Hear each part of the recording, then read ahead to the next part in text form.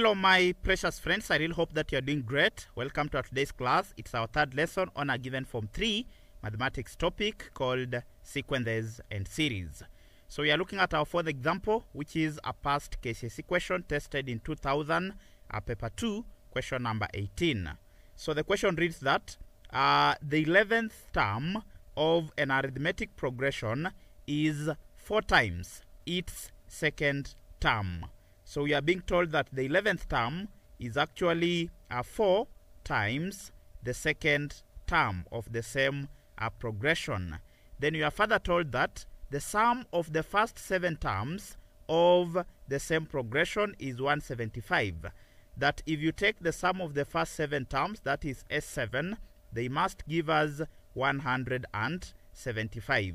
So in part of the question, we are told to find the first term and the common difference of this particular progression. Remember that first term is usually denoted by small a, whereas the common difference is usually denoted by a small d. So because we are being told that this is an arithmetic progression, it is an AP, therefore we must apply the formulas for the uh, arithmetic progression. And of course, because we are given the 11th term and also the second term, we are going to uh, use the formula for the uh, nth term of a given AP. So the nth term is usually given by A plus n minus 1, then into bracket you multiply with uh, D. So our 11th term will be given by, uh, so the 11th term uh, will be given by A, which is the first term, then of course plus uh, n will now be 11 because we are talking of 11 terms, then minus 1, then we multiply with the uh, common difference. So the 11th term will be given by A, then of course plus 11 minus 1, you're going to get uh, 10, then multiplied by D, you're going to get A plus uh, 10D. Then you also find an equivalence of the second term. So the second term of an AP, of course, will be given by A, then of course plus the number of terms, N is 2, then of course minus 1, then multiplied by D. So 2 because of the uh, second term. So this one is going to give us A, then of course plus uh, 2 minus 1, you'll get 1. 1 multiplied by D, you're going to get a D. Now, from this particular statement, we were told that the 11th term is equals to 4 times the second term. So, if the 11th term uh, is equivalent to 4 times the second term, therefore we are going to get the following. So, if I substitute, my 11th term is a plus 10 a d, therefore it simply means that uh, if I take a, then of course plus uh, 10d, this one is supposed to give me 4 multiplied by the second term. So our second term is a plus d. So this will be a, then of course plus d. Then if I open the brackets on the right hand side, I'm going to have a, then of course plus uh, 10d uh, being equal to uh, 4 times a, I'll get uh, 4a. Then of course plus 4 times d, I'm going to get a 4d. Then uh, from this particular point, I'm simply going to collect the uh, like terms together such that I'm going to take A towards the right hand side to add with 4A. Then of course a 4D I'll take it towards the uh, left hand side uh, to be subtracted from uh, the 10D. Therefore we are going to end up with the following. So let me separate my working using this particular straight line here. So this one means that we are going to get uh, the following. So we are going to have on the left hand side, we'll have uh, 10d, then of course minus 4d uh, being equal to. On the right hand side, we are going to end up with 4a, uh, then of course minus a. So this will give us 10d minus 4d. You're going to get positive 6d uh, being equal to 4a minus a. You're going to get 3a then I divide through by 3 I also divide through uh, by 3 so that uh, the 3 and 3 will cancel out. Then 3 here 1 3 into 6 that is uh, 2 times. Therefore it simply means that A will actually be equivalent to uh, 2D therefore I'm going to let this one to be uh, my first equation. Then I'll also use the second statement that I'm given uh, from the equation. I'm told that the sum of the first seven terms is 175.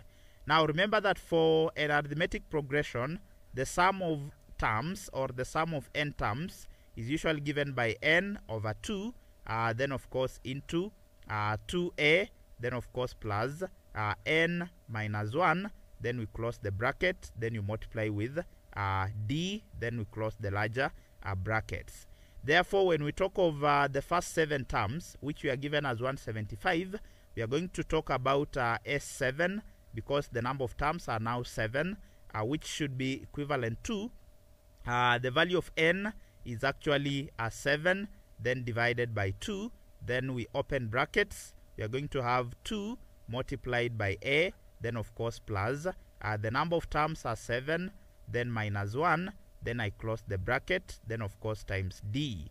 So if I open this bracket I'm going to have uh, s7 then remember I'm told that the sum of the first seven terms is 175 therefore uh, we can actually equate this one to uh, 175 so this means that 7 divided by 2 we are going to get uh, 3.5 uh, then into bracket we are going to have uh, 2a then of course plus uh, 7 minus 1 will get 6 6 times d we are going to get uh, 6d then I'll close the bracket then this one will be equivalent to 175 now if I open the bracket on the left hand side I'm going to have uh, 3.5 multiplying with 2a 3.5 of course uh, multiplied uh, by 7 we are that is by 2 we are going to get a positive 7 so this will give us uh, 7a then of course plus uh, 3.5 multiplied by 6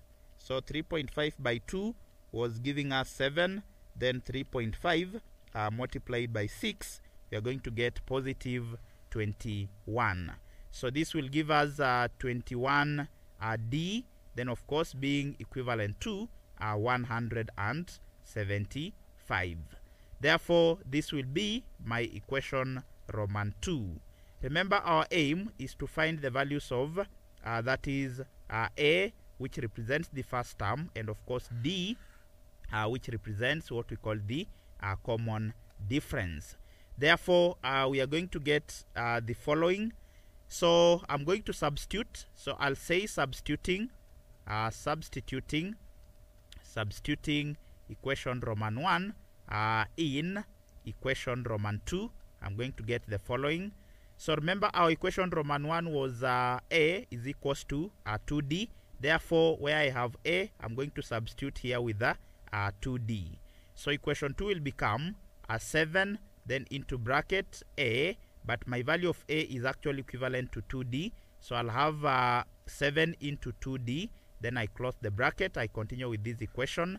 So we have plus uh, 21 uh, D. Then of course the whole of this is equivalent to 175 so this will be 7 by 2 I'm going to get positive 14 uh, D then of course plus uh, 21D so this one is equivalent to 175 then from there if I take 14 plus 21 so 14 plus 21 I'm going to get uh, 35 so this will be uh, 35D so 35D is equivalent to 175 then I'll divide through by 35 I also divide through by 35 so of course 35 and 35 will cancel out so that we get the value of D uh, being equivalent to uh, 175 then divided by uh, 35 which is going to give us uh, 5 as the value of our common difference. So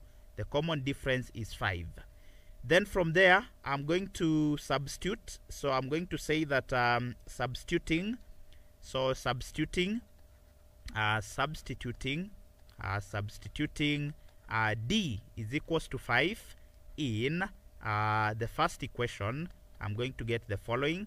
Remember our first equation was this one here which was uh, a is equals to uh, 2d therefore if I substitute I'll have 2 into the value of d is 5 therefore it means that a uh, will actually be equivalent to a positive 10 therefore we can conclude and say that the first term for this particular uh, arithmetic progression uh, was 10 whereas the uh, common difference was actually uh, positive 5 therefore uh, we are going to conclude and say uh, that therefore uh, our first term, uh, the first term, uh, the first term of this particular progression, uh, which is equals to a, is equivalent to uh, positive 10, and the common difference, uh, the common uh, difference of this particular progression, uh, which is denoted by d, was given by uh, positive 5.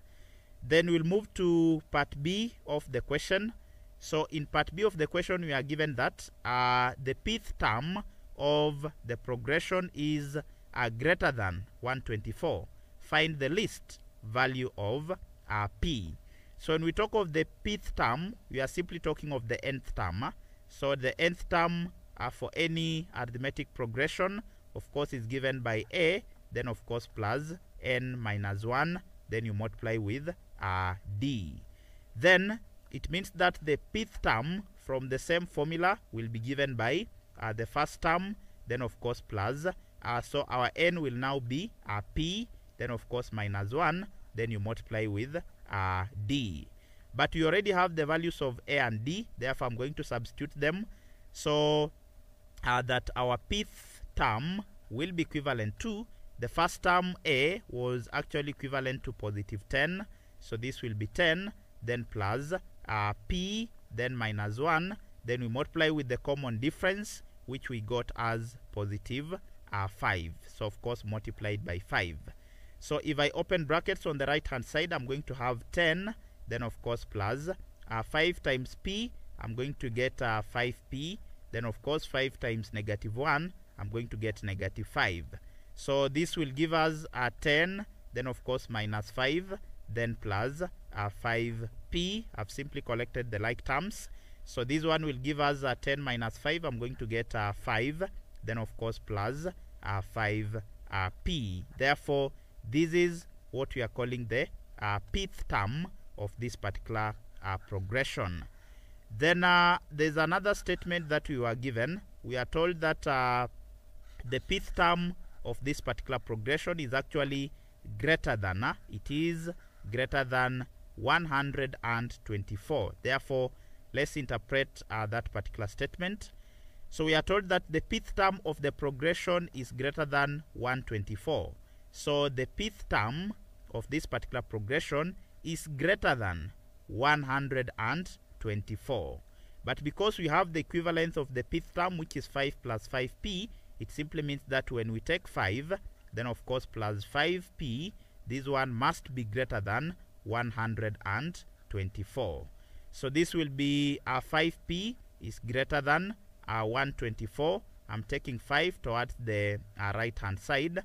Of course it will be negative so minus 5 so that means uh, 5p is greater than if you take 124 minus 5 you are going to get 119 then I'll divide through uh, by 5 I also divide through by 5 so that 5 and 5 cancels out. So it means that p will be greater than. So I'm going to take uh, 119 uh, divided by 5 so 119 divided by 5 I'm going to get uh, 23.8 so this is uh, I'm getting 23.8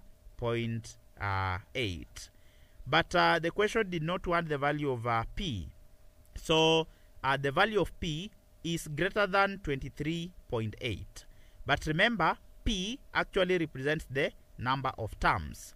And we know that there is a key point that we need to always remember here.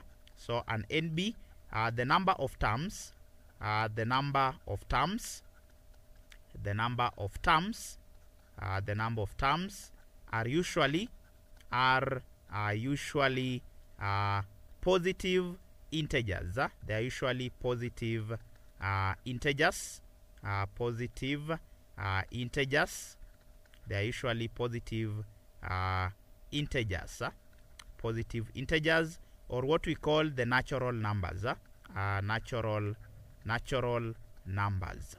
So the number of terms are usually uh, positive integers only.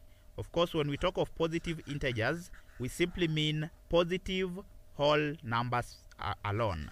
So that means that you cannot have the number of terms having a decimal point.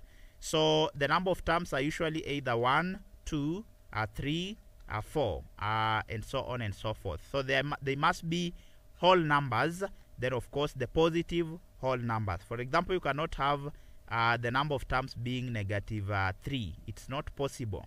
The number of terms must be natural numbers or what we are calling the positive uh, integers. Therefore, because we have the statement P uh, is greater than 23.8, you cannot have 23.8 number of terms. They must be natural numbers or the positive integers. So because we are told to uh, find the least uh, possible value of P, therefore we'll ask ourselves, from P is greater than 23.8, what is the least possible whole number that is greater than 23.8? Therefore we find that the least possible whole number that is greater than 23.8 is actually uh, 24. So 24 is the least whole number that is greater than 23.8. Therefore, we'll conclude and say the value of p, it must be 24.